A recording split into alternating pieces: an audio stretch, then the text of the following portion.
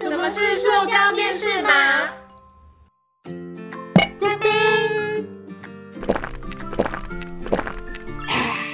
进摊完后喝一杯自己喜欢的饮料，真的是太畅快了。真的，整个通体舒畅呢。你们看，这边竟然有七个塑胶回收桶耶！嗯，应该要丢哪一个呢？你们看，每个垃圾桶上分别标示着一到七不同的号码呢。这么多塑胶回收桶，看得我都头昏眼花了。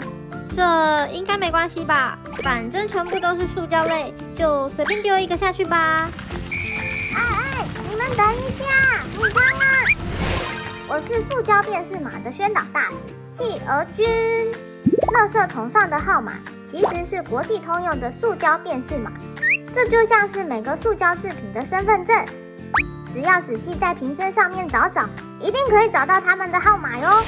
耶，找到了！我的养乐多罐上面写了六号，我的牛奶瓶是二号，我的保特瓶是一号。没想到真的有写塑胶辨识码。没错，一到七号分别代表不同的塑胶材质。一号 PET，又称作聚乙烯对苯二甲酸酯，最常见的就是保特瓶。二号 HDPE，叫做高密度聚乙烯，耐腐蚀，硬度高，像是牛奶瓶、洗衣精瓶都是哦。三号 PVC 则是聚氯乙烯，可塑性优良，雨衣跟水管都是用它做成的哦。四号 LDPE，低密度聚乙烯，它柔软有弹性。最常见的塑胶袋就是用它来做原料的。五号 PP 又称作聚丙烯，属于半透明的容器，耐高温、耐酸碱。六号 PS 聚苯乙烯，脆弱易碎导热差，像是蛋盒、保丽龙都是由它做成的。七号其他类种类很多，像是 PMMA 亚克力等合成塑胶都是它的回收范围哦。那我们回收分类这些原料？会有什么帮助呢？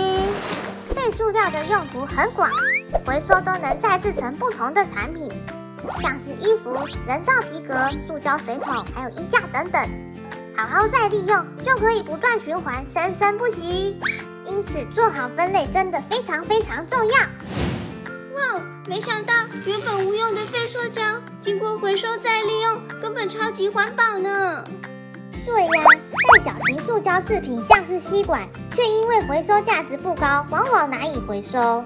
这时候就需要政府或注重环境的企业家们辅导，才有可能彻底落实回收。但我们还是要先从自己做起，毕竟环保是每个人的事情啊。没错，知道什么是塑胶辨识码后，做到正确分类，净滩才更有意义，地球也会越来越美丽哦。好，我们一起加油吧！